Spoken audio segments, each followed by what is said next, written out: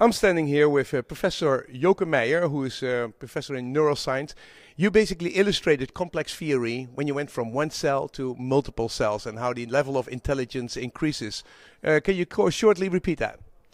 Yes, we are doing in, uh, uh, research on the biological clock, which uh, is producing 24 hour rhythms. It's a brain structure mm -hmm. and it consists of about 10,000 neurons.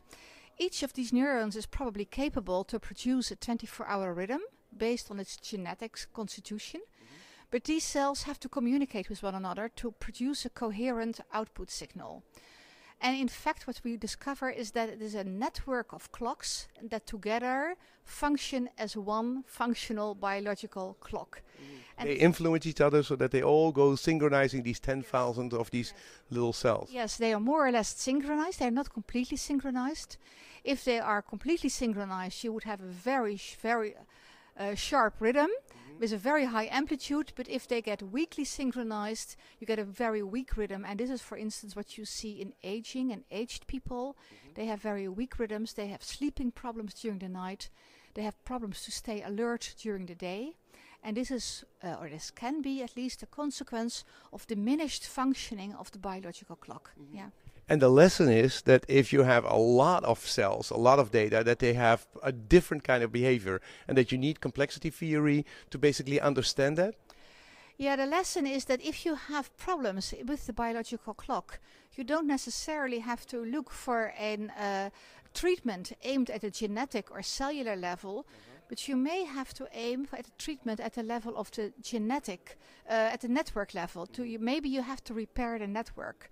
Maybe you have to stimulate communication among the nerve cells within the network, because several diseases are clearly the result of a network problem rather than a cellular or genetic problem. Mm -hmm. Yeah.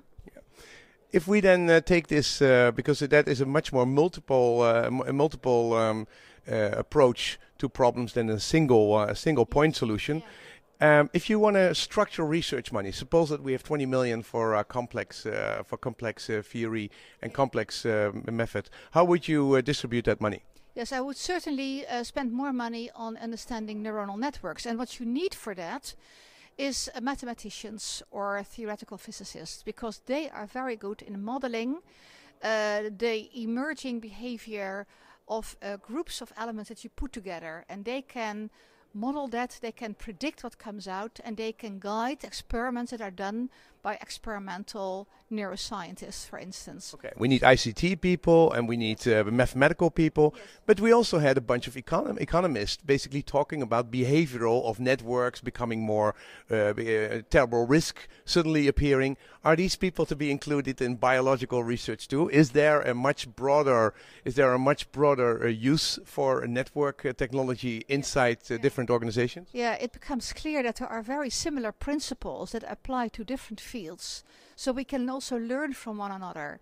But the only one I haven't mentioned yet is that I think there is also room for uh, philosophers of science.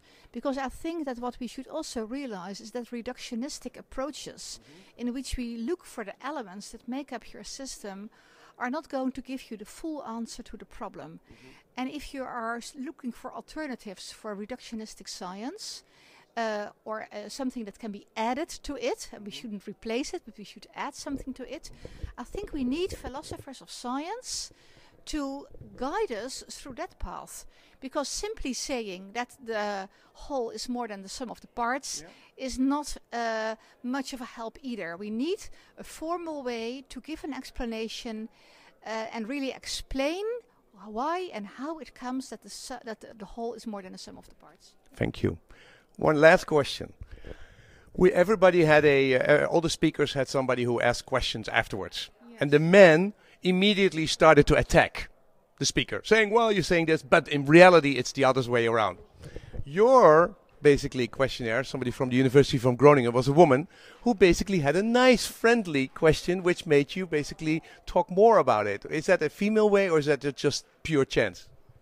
It's pure chance for the time being. Mm, I don't believe it. Thank you very much.